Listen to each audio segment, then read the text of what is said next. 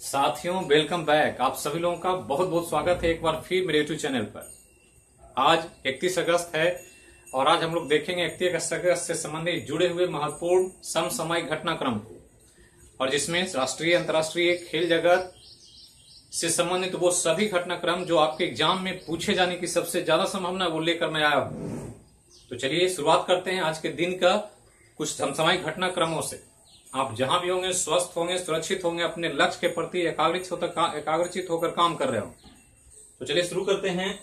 पहला, एक important sad news है भारत के लिए कि 31 अगस्त को भारत रत्न पूर्व राष्ट्रपति प्रणब मुखर्जी का चौरासी वर्ष की उम्र में निधन हो गया। एक बहुत ही वरिष्ठ नेता, एक प्रतिभाशाली व्यक्ति, जो भारत के अलग अलग मंत्रालयों की जिम्मेवारी संभाला और अंत में राष्ट्रपति पद को भी सुशोभित किया। कांग्रेस के वरिष्ठतम लीडर में से एक प्रणब आज हमारे बीच नहीं है, ये ध्यान रखना।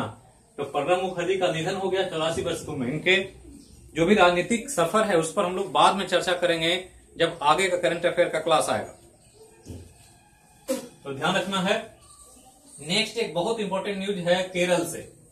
और ध्यान रखना कि केरल में एक विशेष पर्व मनाया जाता है। जिसको ओनम कहते हैं, ध्यान रखना है अक्सर पूछता है। और केरल के मलयालम जो कैलेंडर होता है, इस कैलेंडर का एक महीना है चिंगम। और चिंगम महीने में ही ये उत्सव मनाया जाता है। और ध्यान रखना है कि चिंगम साल में अगस्त या सितंबर के आसपास पड़ता है। तो जैसे हिंदी कैलेंडर है, जैसे अंग्रेज़ी कैलेंडर, वैसे ही मलयालम कैलेंडर है। और मलयालम कैलेंडर में चिंगम महीने में ये ओनम मलयालम या केरल में सेलिब्रेट किया जाता है। ध्यान रखना, ये ओनम फ़सल उत्सव के तौर पर मनाते हैं कि फ़सल जब पूरा हो जाता है तो उसके खुशी के रूप में वहाँ के लोग ओनम एक बड़े त्योहार के रूप में मनाते हैं, जो दस दिनों का चलने वाला त्योहार है। तो ध्यान रखना है, ओनम केरल से संबंधित है। बार बार एग्ज़ाम में पूछा जाता है। नेक्स्ट है कि भारत बहुपक्षीय सैन्य अभ्यास कब काज 2020 ये ध्यान रखना है। नाम क्या है? कब काज 2020 सैन्य अभ्यास है और बहुपक्षीय मतलब कई देश इसमें शामिल होने वाले थे, जिसमें मुख्य रूप से रूस, चीन और भारत इस सैन्य अभ्यास में पार्टिसिपेट करने वाले थे। भारत अपनी सेना के एक सदस्य की टीम को भेजने वाला भी था, लेकिन भारत ने इसमें शामिल होने से मना कर दिया, कारण कि चीन के साथ सैन्य अभ्यास भारत नहीं करना चाहता क्योंकि चीन और भारत के बीच सीमा विवाद चल रहा है और देख रहे हैं कि कल भी कुछ सैनिक संघर्ष हो गया है, जिसमें क्या हुआ है, अभी तक कोई न्यूज़ नहीं है। लेकिन इस संघर्ष को देखते हुए कि हम एक तरफ़ हम सीमा पर एक दूसरे से लड़ रहे हैं और फिर उन्हीं के साथ सैन्य अभ्यास करें, ऐसा संभव नहीं है। और भारत ने खुद को इससे अलग कर लिया। जबकि रूस के साथ ये सैन्य अभ्यास होना था तो ध्यान रखना है, ये एक बड़ा न्यूज़ है। तो इस सैन्य अभ्यास का नाम याद रखें, कब का 2020 नेक्स्ट एक न्यूज़ है, आंध्र प्रदेश के विशाखापट्टनम से। तो आंध्र प्रदेश के विशाखापट्टनम में गुड़िया बनाने की एक विशेष कला है, एती को कोपक कोपक्का। ये ध्यान रखना है, एती कोपक्का। पर प्रधानमंत्री ने मन की बात में कहा, ज़ोर दिया इस पर और कहा कि लॉकडाउन में क्रियाशीलता या संरचनात्मकता को बढ़ाने का एक बड़ा माध्यम है ये कला, जो आंध्र प्रदेश के विशाखापट्टनम ज़िले का एक अपना कला है, जिसमें लकड़ी के खिलौने बनाए जाते हैं बहुत सुंदर सुंदर तो ध्यान रखना है तो एती कोपक का कोपक का कहाँ का है कला? ये ध्यान रखना है। तो विशाखापट्टनम जिला है, आंध्र प्रदेश राज्य है। इस पर प्रधानमंत्री ने बल दिया है कि इसको बढ़ावा देना चाहिए और इसको लोगों तक पहुँचाने का प्रयास करना चाहिए। तो ध्यान रखना है एती कोपक्का को, जो आपसे पूछा जा सकता। है नेक्स्ट है लेबनान। लेबनान एक पश्चिमी एशियाई देश है, जिसकी सीमाएँ इजराइल, सीरिया, इन सबसे टच करती है और बहुत ही सेंसेटिव, संवेदनशील देश है। और इस लेबनान में एक नए प्रधानमंत्री की नियुक्ति हुई है और उनका नाम है मुस्तफ़ा अदीब। तो मुस्तफ़ा अदीब यहाँ के नए प्रधानमंत्री होंगे। ध्यान रखना है कि लेबनान में, जो लेबनान की राजधानी है बेरूत, यहाँ पर बम विस्फोट हुआ था और जिसके कारण जनता में काफ़ी आक्रोश था।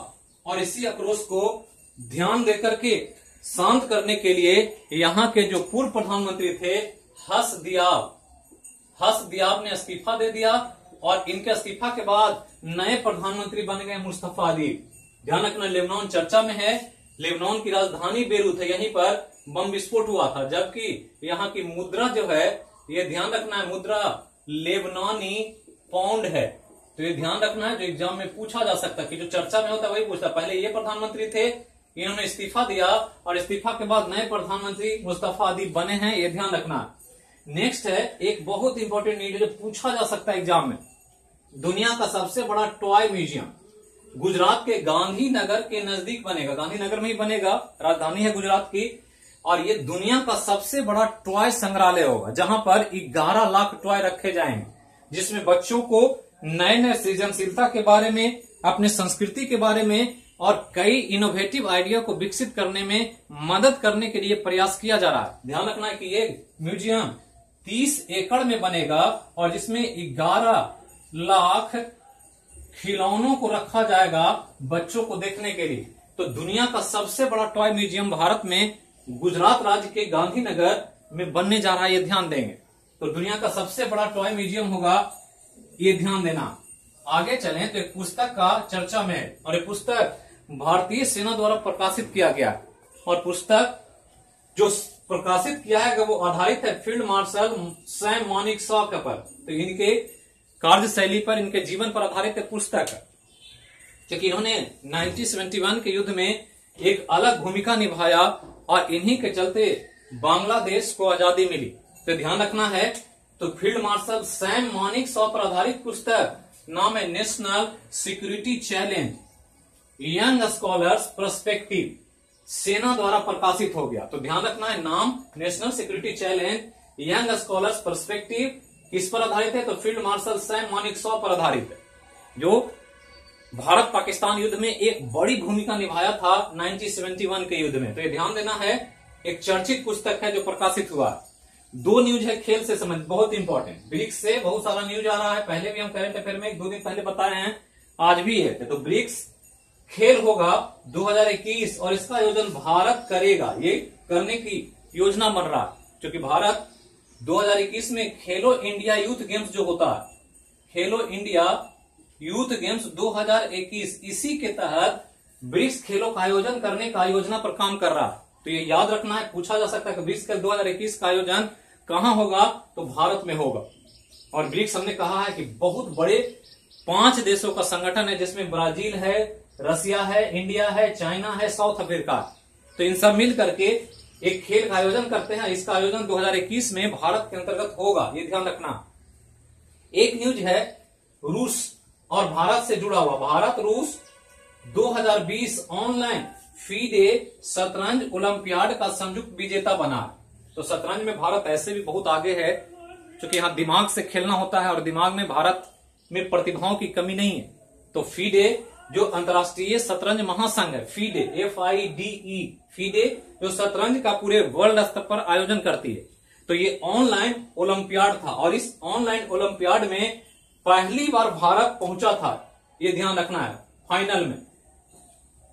विजेता के रूप में रूस को घोषित किया जा चुका था, लेकिन भारत के खिलाड़ियों ने अपना दावा प्रस्तुत किया कि ये जो खेल हुआ है, वो प्रॉपरली नहीं हो पाया और किसी टेक्निकल प्रॉब्लम की वजह से हम लोग अच्छे से नहीं खेल पाए या हमारा प्रदर्शन को देखा नहीं जा सका। और जब चेक किया गया फीडे द्वारा, जो महासंघ का महासंघ का जो फीडे काम करता है शतरंज, इनके ऑब्जर्वेशन के बाद इन दोनों को फिर फाइनली स्वर्ण पदक दे करके विजेता घोषित किया गया। तो ध्यान रखना है ऑनलाइन फीडे शतरंज ओलंपियाड 2020 का विजेता कौन? तो भारत और रूस दोनों संयुक्त विजेता है यह ध्यान रखना।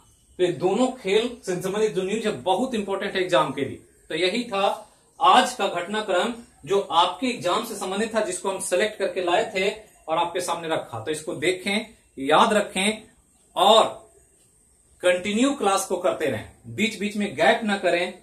जहाँ रहें, स्वस्थ रहें, सुरक्षित रहें, फिर मिलेंगे हम लोग शाम के क्लास में सब्जेक्ट के जो विषय चलता है उसमें। तो थैंक यू आज क्लास शाम में जो होगा, उसमें क्वेश्चन आवर होगा फिजिक्स का, सिंपल पेंडुलम का तो आप लोग देख लेंगे, रिवाइज कर लेंगे ताकि क्वेश्चन में एक भी गलती ना हंड्रेड परसेंट सही होना चाहिए। और फिर मिलते हैं शाम के क्लास में। Thank you.